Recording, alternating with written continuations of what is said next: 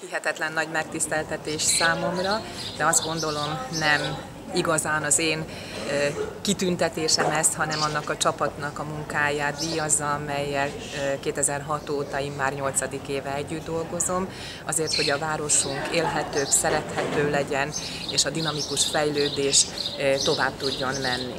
Gratulálok a 20 éves jubileumához ennek a rendezvénynek, külön örülök annak, hogy mint házigazda azért is lehetek, lehetek itt, hiszen tavaly megnyerhettem ezt az elismerő díjat, amely az év polgármestere volt, és nagyon bízom benne, hogy ez a rendezvény, illetve a második kerület napja így egybe kötve egy nagyon jó és színvonalas műsort, illetve lehetőséget fog adni a kollégáknak arra, hogy egyfelől szórakozzanak, de másfelől megfelelő konzultációkat és fontos beszélgetéseket is tudjanak folytatni itt a második kerületben. Ebből a kormányzat is nagyon sokat tanult. Én magam ugye két cikluson keresztül voltam közigállamtitkár, ez a harmadik.